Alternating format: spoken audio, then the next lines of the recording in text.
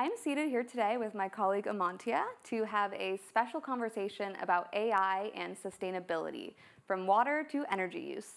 And just to give you some food for thought before this episode, Microsoft recently announced that it expects its carbon emissions to increase by 30%, a significant change driven primarily by the construction of data centers. Beyond increased emissions, data centers are also vulnerable to droughts because a significant amount of water is required to run them.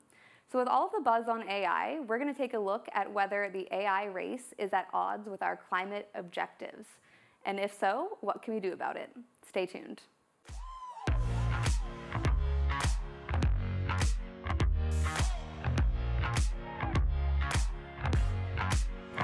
So Amantia, the example I just gave on Microsoft is really a good example of some of the competing forces here on climate and AI. So given your focus on sustainability, I would just love to get your thoughts the, about those competing forces and you know, how AI fits in with sustainability. Of course. I mean, as all of us have been talking about AI really for the better part of the last year, year, year and a half even, um, from the sustainability perspective, we've been looking at both the risks and opportunities. And we could spend and probably should. Spend an entire conversation on what AI will enable us, hopefully, to do in unlocking solutions for a more sustainable future. But one of the areas of, of, of, risk that we're seeing is specifically how the infrastructure that is required around us using all of this additional power uh, technology and specifically all of the data centers that are being built and will need to be built uh, can create risk, especially on the climate side.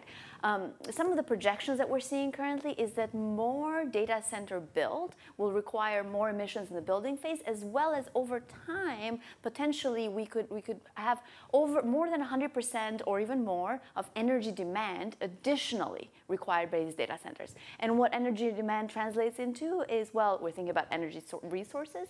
We also are thinking about carbon emissions, which could as much as double, as, as you mentioned in the beginning with that Microsoft example of just that one company going 30% above its targets.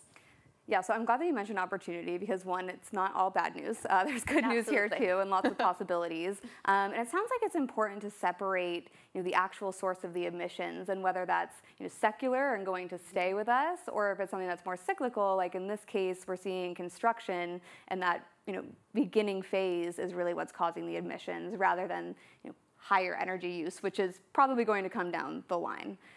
Yeah, I mean, you're so right. And, sort of that initial build out phase, we're talking about cement, we're talking about steel, silicon, all of these materials which are being put in the ground. And so that, call it the, the fixed cost in terms of additional carbon emissions that are coming in here.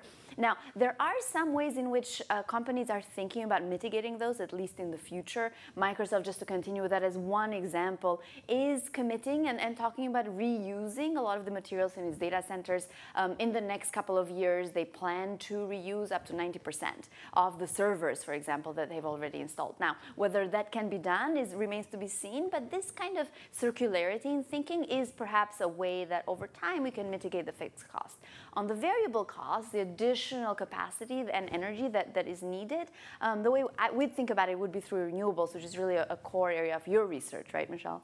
Yes, you're absolutely right. Um, and we definitely are seeing renewable capacity increase. I think when you think about something like data centers or the energy transition broadly, you, know, you have to think about reliability too. And this concept of 5-9 reliability, meaning a data center should be up 99.999% of the time. So you need power 99.99% of the time, right? So I think that says something too about the need for energy storage. Uh, so it's not just about you know increasing the renewables capacity again, but that storage component as well. So I think this does highlight again how linked uh, AI and the energy transition really are. Yeah, truly. And from a demand perspective, um, we're looking at a study from from kind of Bloomberg that noted that the five largest um, U.S. technology stocks, so think Microsoft, you know, Meta, uh, uh, Alphabet, and so forth, um, are making up 75% of corporate purchasing power agreements. So basically, the, the agreement with renewable energy companies to purchase a supply. So over time,